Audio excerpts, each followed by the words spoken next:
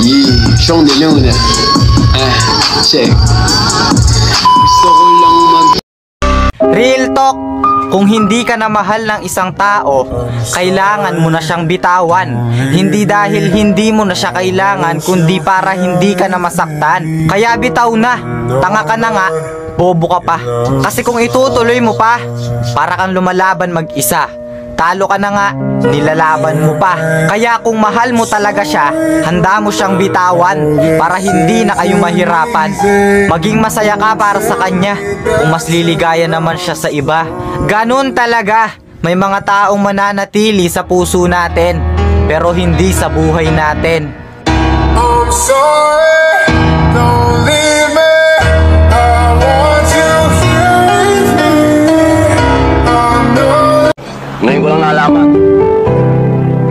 pala pag maliit, lalong inaapi, lalong inapakapakan.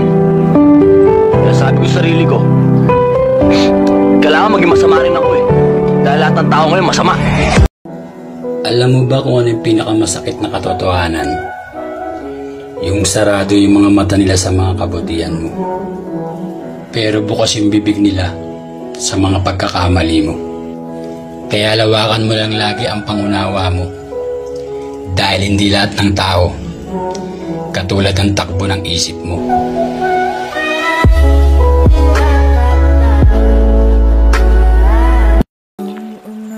Sana kahit minsan man lang kinukonsider mo yung nararamdaman ko.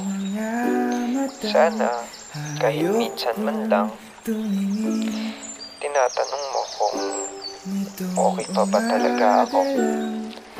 Kasi sa tuwing tinatanong mo ko kung kamusta ako, lagi ko na lang sinasabi na okay lang ako. Kasi kahit sasabihin ko man sa'yo yung totoo,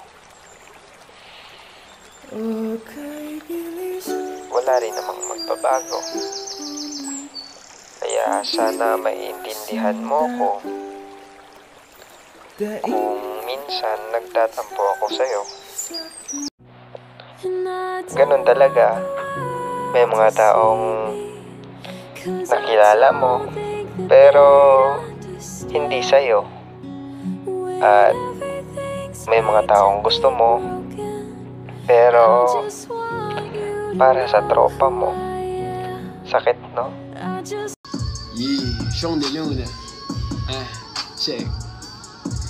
Gusto ko lang magpasalamat sa lahat ng naniwala sa mga taong patuloy sa akin na nagtitiwala. Di kayo mabibigo, may patutunguhan to. Ako'y hindi hihinto sa natututunan ko. Sa mga taong na simula pa lang ay bumilib. Sa mga taong walang sawa sa akin na nakikinig. At sa mga di ako trip, pati sa akin ay galit. Okay lang sana tagumpay ay inyo ring makamit. Ako'y hindi naman masungit, ako'y medyo busy lang.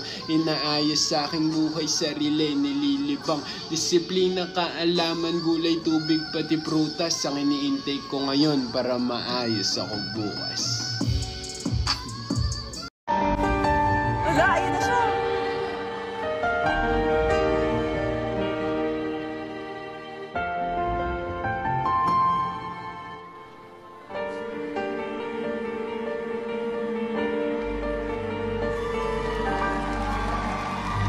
Isilang ka.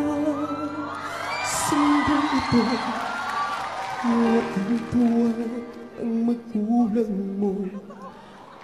At ang kamay nila ang iyong ingay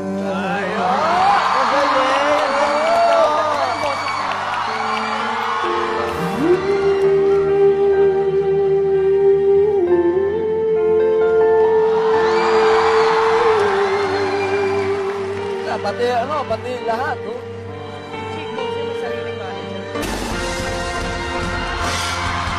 Nagdaan pa ang mga araw Habang landas mo nilagaw Ikaw ay nalulong sa masamang bisyo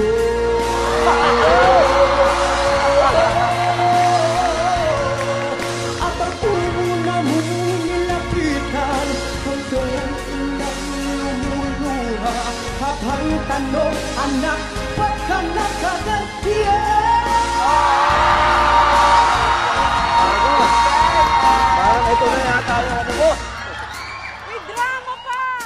At ang iyong mga mata Pinamumuhan ng di mo napapansin